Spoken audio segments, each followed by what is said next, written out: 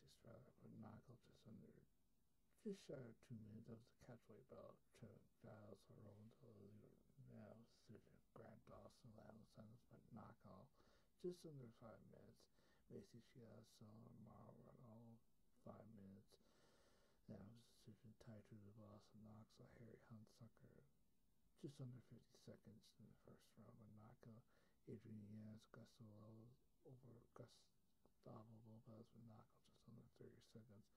Montserrat Louise or Shinyan by now decision. Max Griffin or Sun, Sun Kino by knockout just under two minutes. Derek Brunson or Kevin Holland, five.